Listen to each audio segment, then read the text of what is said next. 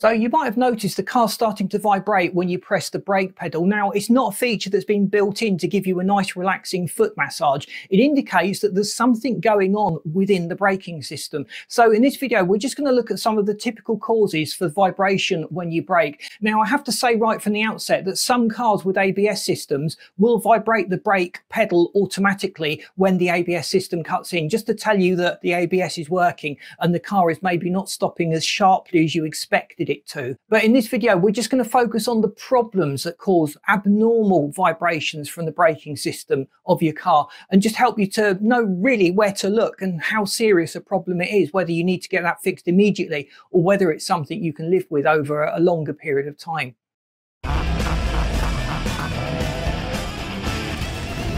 So the most common fault within a braking system is the brake discs or brake rotors. So depending on where you live, you're going to have different names for it. But the big metal disc that the pads clamp hold of is doing a lot of work within the brake system. And that is metal. It's subject to expansion and contraction of heat. It's exposed to rust. You've probably noticed that when you've left your car for a few days, and particularly when it's been raining or a damp environment, a layer of rust is starting to form on that brake rotor or that brake disc. And eventually that surface surface of the brake disc will not be perfectly smooth and perfectly flat. So you can imagine now, as that is slightly rippled, as you apply the pads, it's going to cause a vibration just because the surface that you're braking against is no longer flat. So in most cases, this is not a significant issue, but I would urge everyone with some kind of problem with the braking system to have it checked out. So subtle vibrations caused by uneven brake discs or brake rotors is probably more of an annoyance than a serious safety issue. But again, there are degrees. This problem can get worse and worse and worse until it is actually affecting the car's ability to stop and the braking performance has been seriously impacted by the warped rotors. So other issues that can happen with the rotors is they can actually crack. They can start to degrade or even work loose. So if they're not mounted correctly, and these really can add up to quite serious problems when it comes to braking performance. So the car will not stop as sharply as possible, just really because the pads are effectively bouncing over the surface or the car is having to pulse the brakes to make allowances for the differences in the depth of the metal that the pads are rubbing against. So the other aspect that's fairly obvious is the brake pads themselves that contact the rotors or the brake discs. So if the pads are of inferior quality and they've become unevenly worn, that can actually exacerbate a problem with the brake discs or rotors themselves becoming unevenly worn. And that can be another source of vibration when you press the brake pedal. So these these vibrations you get that are due to defects in the surface of the brake rotors or discs or the pads generally build up over time. It's not something that suddenly happens.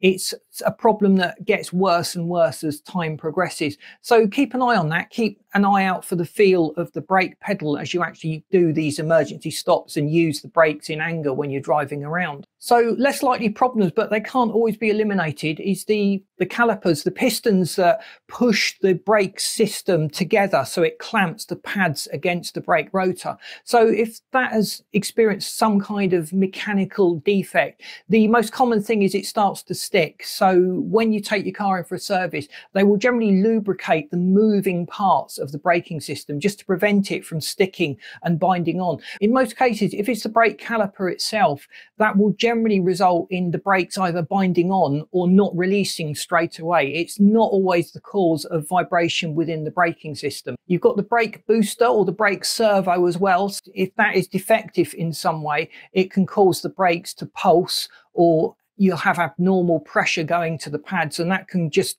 reduce the braking effectiveness. And you may even notice that as vibration as the system is continually trying to adjust itself in order to stop the car. So other problems when the car brakes that causes vibrations may not actually be the brakes at all. So it could be the tires, it could be the rims that have become damaged. It could be the suspension system on the car has started to degrade. So it's just important to note that is this happening when the car slows up? So if you ease off, maybe in a slightly lower gear than you would otherwise, and the car is coming to a stop, is that causing the vibration that you're experiencing when you apply the brake? Because that can sometimes indicate the problem is not with the brakes, it's with the suspension system or the tires or there's some other defect within the car that's outside of the braking system. So hopefully this video has just very quickly gone over the typical culprits of vibration when you brake. With your brakes, don't take chances.